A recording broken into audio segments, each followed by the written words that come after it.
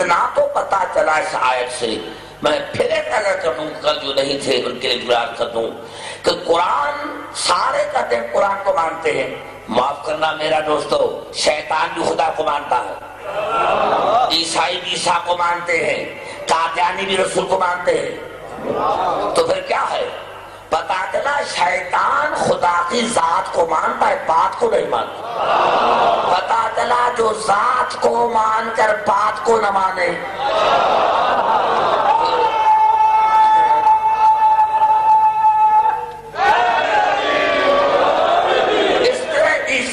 मानने का जिस तरह हक है, उन्होंने नहीं माना। इस तरह काजान ने जिस तरह रसूल को मानने का हक था, नहीं माना। आज भी योजना कर रही है कि वो काफिर है। हम अली को मानते हैं, हम क्या मानते हैं? पहले मुझे बताओ तो मानते क्या हो ये जो शिया है, फला को नहीं मानते, क्या माने?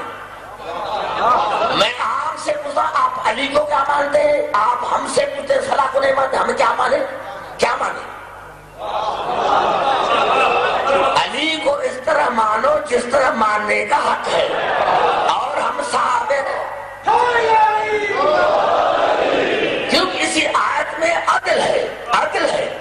हबीब उन बंदू को मार दो। जो बात हरे की सुनते हैं, लेकिन पैरवी उसकी करते हैं जो सबसे अफजल हो। मैं ऐसे बंदू को हिदायत करता हूँ, क्योंकि वो साहबान अकल। पता चला तो सबको जैसा समझे। वो अकल अकलमंद नहीं है, वो बेअकल है।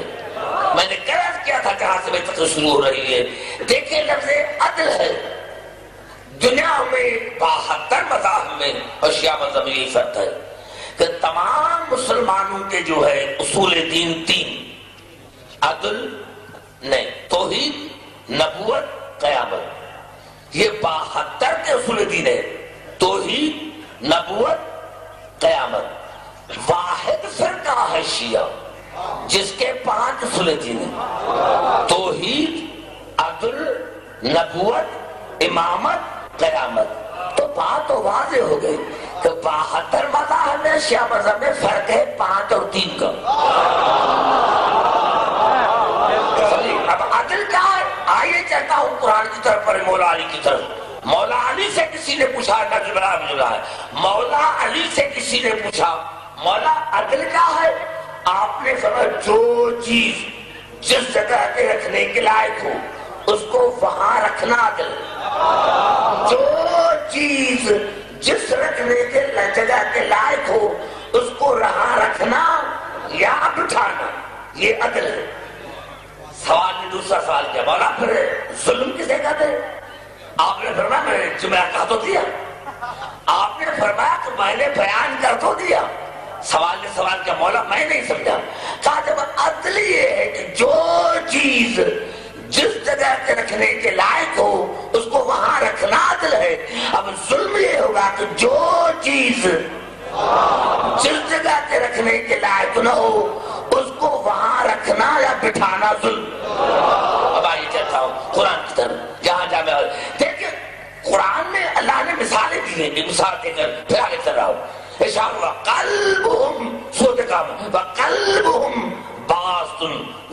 जराइबिल और उनका कुत्ता उनका कुत्ता, असाब कैफ का कुत्ता, अपनी भाई फैलाए हुए दरवाजे पर बैठा हुआ है, था नहीं है। और मोमनीन का कुत्ता, मोमनीन का कुत्ता साबित काफ का कुत्ता ये कुरान की सूरत काफ कहते हैं उनका कुत्ता, मोमनीन का कुत्ता कुत्ता बेवास नहीं है।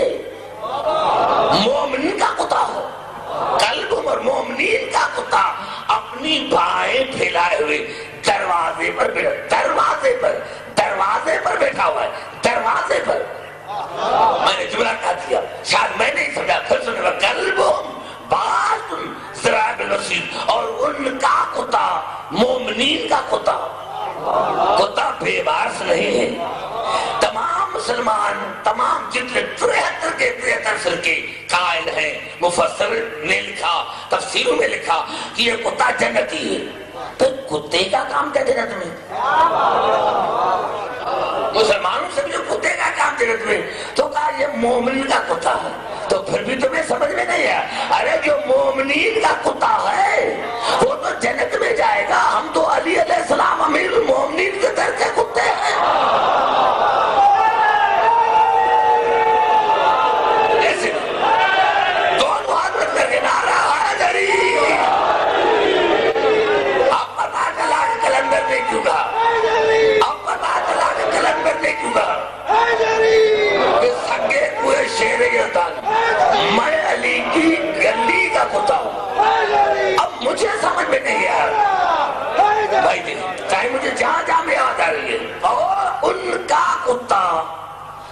अपनी बाहें फैलाए हुए दरवाजे पर बैठा हुआ है, था नहीं है। पता चला आज भी कुत्ता ज़िंदा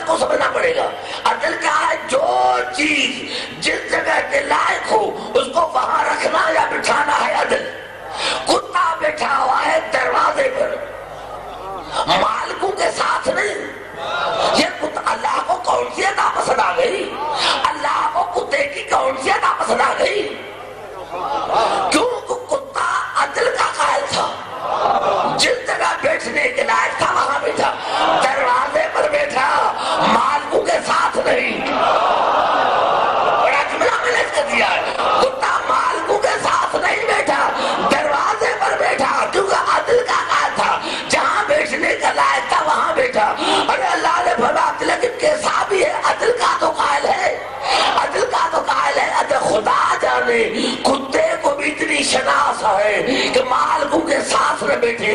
खुदा जाने उनका असर क्या होगा जो रसुल की जगह पर बैठते थे।